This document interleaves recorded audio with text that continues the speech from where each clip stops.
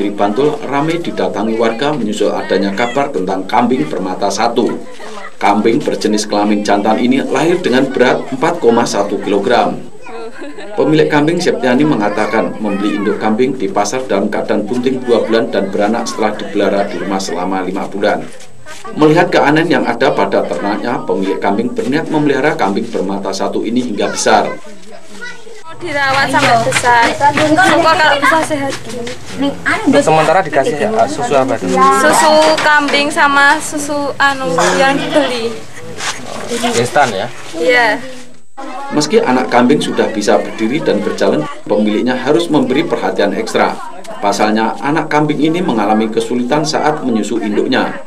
Untuk menyusu, anak kambing dibantu menggunakan dot bayi berisi susu formula. Dari Bantul, Tresna Purwoko melaporkan.